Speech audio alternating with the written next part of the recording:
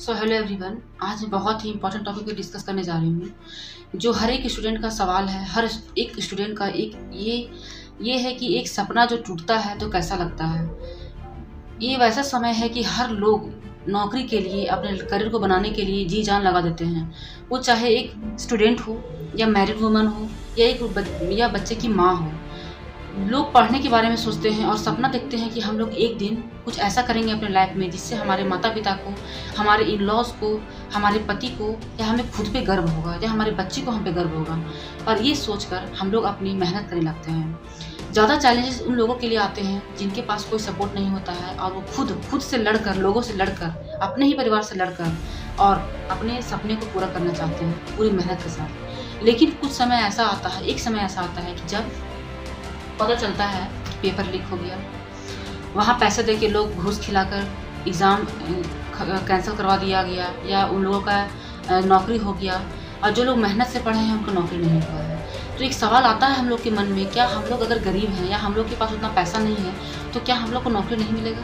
सिर्फ़ हम लोग अपना जीवन किताब के पीछे ही बिता देंगे पढ़कर दिन रात पढ़ते रहेंगे, अपने अगर एक माँ पढ़ रही है तो अपने बच्चे को ध्यान नहीं दे पाती है। अपना जो लाइफ होता है मैरिड लाइफ या बच्चे होने के बाद का लाइफ उसको जी नहीं पाती है। क्यों? क्योंकि वो सोचती है कि अभी मेरे पास समय है तो मैं कुछ करूँ अपनी लाइफ में। जो मैं आगे नहीं कर पाई, जो मैं पीछे नहीं कर पाई, वो मैं अब करूँ। ये सोचकर एक हाउस वाइफ एक मदर अपने आप को आगे करती है। मैं यहाँ पे उनका आवाज़ बनना चाहती हूँ जो शादी के बाद पढ़ती हैं। इवन बच्चे होने के बाद भी पढ़ने का हौसला रखती हैं और पढ़ती हैं। लेकिन जब वो खुद अपने पति से लड़ पति से आ, मतलब लड़कर लड़कर इन द सेंस कि पति को पति भी सपोर्ट नहीं कर रहे हैं परिवार वाले भी सपोर्ट नहीं कर रहे हैं लेकिन वो खुद के बल पे कि नहीं कोई नहीं सपोर्ट करेगा तो मैं करूँगी खुद से। और वो कर कर मेहनत करती है लोगों के ताने सहती है और पता चलता है कि पेपर लीक हो जाता है। या कुछ लोगों का नौकरी हो जाता है तो इसमें हम लोगों को अपना काबिलियत पर शक आता है। लोग और ताना मारते हैं कि देखो तुम क्या कर रही थी और क्या हुआ।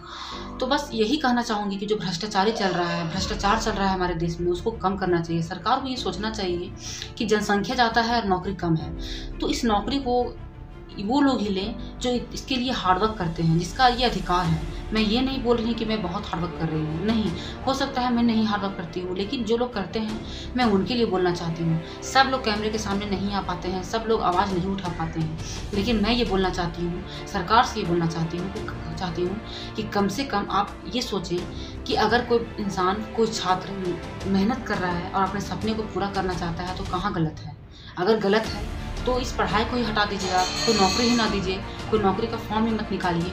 क्योंकि हम लोग को होता है कि चलो अब इस चीज़ की तैयारी करेंगे और हम लोग उसके लिए जी जान से लग जाते हैं पढ़ने के लिए। न दिन देखते हैं न रात देखते हैं, बच्चा रोता है, उसको शांत कराते हैं, घर से लोग प्रेशर देते हैं इन लॉस सपोर्ट नहीं करते हैं, या खुद इवन अपना पति सपोर्ट नहीं करता है, या माता पिता सपोर्ट नहीं करते हैं। तो मैं कुछ लोगों के बारे में बात कर रही हूँ।